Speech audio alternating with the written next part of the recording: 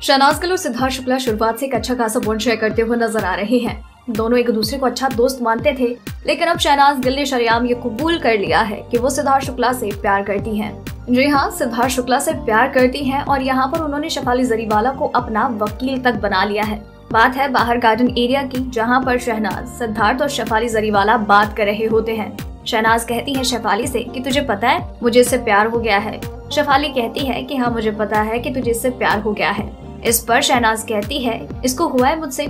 इस पर शेफाली कहती है कि, मुझे क्या पता इसे तुझसे प्यार हुआ है कि नहीं हुआ? ये तू पूछ उससे, वो तुझे बताएगा कि उसे तुझसे प्यार हुआ है कि नहीं हुआ? इस पर शहनाज कहती है कि, मुझे तो प्यार हो गया है। यहाँ पर शहनाज गिल सिद्धार्थ शुक्ला का हाथ पकड़े रखती हैं और बार बार कहती हुई नज़र आती है कि, मुझे इससे प्यार हो गया है, लेकिन इसे हुआ है या नहीं हुआ, ये अभी तक क्लियर नहीं है। बिग बॉस के इस टेढ़े सीज़न की और भी कई टेढ़ी खबरें यूँ ही जानने के लिए बनी रही है हमारे साथ।